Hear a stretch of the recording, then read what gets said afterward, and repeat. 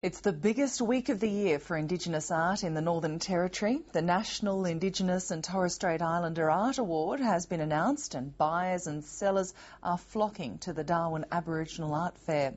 But the two new federal government art policies are in the spotlight. Some dealers and galleries are worried the new schemes may have done more harm than good to an art market that's struggling to recover from the global financial crisis. James Glenday reports.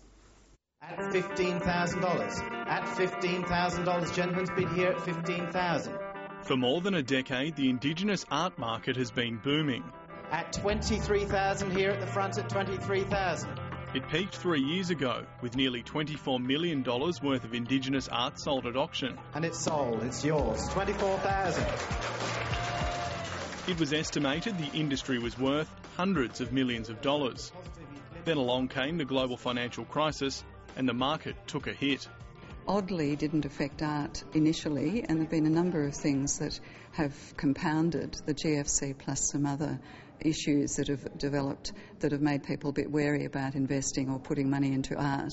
You know, you're always going to read stories about the sky falling in. Uh, what I see wherever I go is fantastic work being produced in such a way that the overall economic potential for Indigenous art will I believe, continue into the future.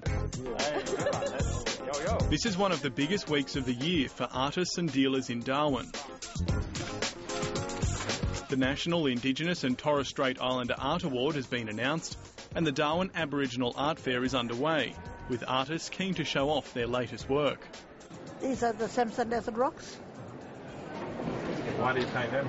Because when I was a little girl, my grandmother used to take me to a this special place to show me these rocks. But this year, both artists and dealers are worried about where the market is heading. All the Australian art market has experienced a slowdown. People are more cautious with what they're doing, and art is often a second um, object on the shopping list, but a very, very important one. You know, this is livelihood for Indigenous people. It's one of the few goods exports from remote Indigenous Australia.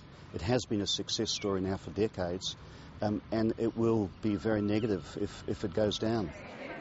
While the art market is reeling from the impact of the global financial crisis, it's also been at the centre of a major federal government shake-up. Earlier this year, a voluntary code of conduct was introduced for Indigenous art. It's designed to weed out carpetbaggers, the unscrupulous operators who pay for art with drugs or alcohol and then resell it for a big profit.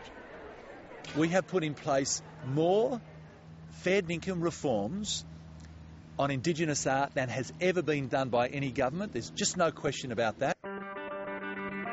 A public company has been set up to administer the new code, and dealers, art centres, and galleries can all become members. Its success or failure may hang on just who signs up.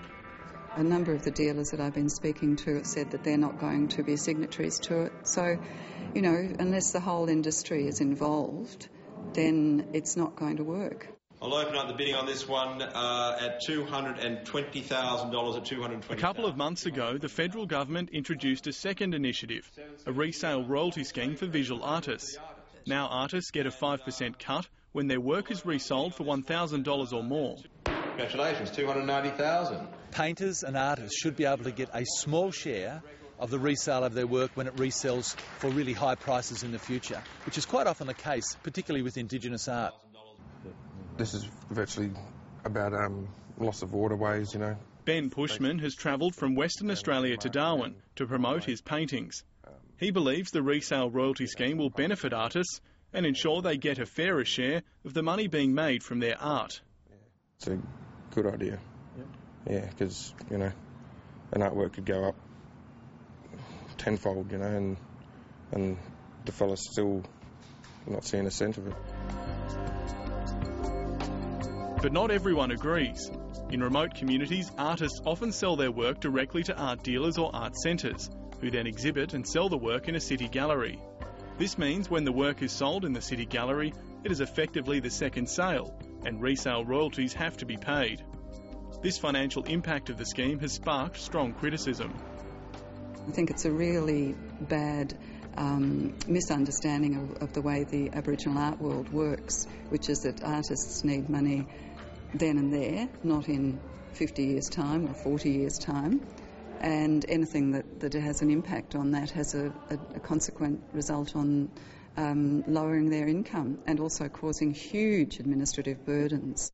As I speak to either the artists and particularly the galleries, um, they're saying that it, it is a, an unrolling disaster. Even if an item sells for $20, they have to go through the process of reporting. It's a huge, onerous and very costly process for galleries. But both sides of politics will only commit to monitoring and reviewing the policies if they win office. The government says it'll be many years before the success of the schemes can be measured. In the long term, this is a market which will both increase in value and, with our decisions, produce additional benefits to artists as a whole. Those who make their living from the art market are confident Indigenous art will eventually bounce back. It's just like a, a steam train.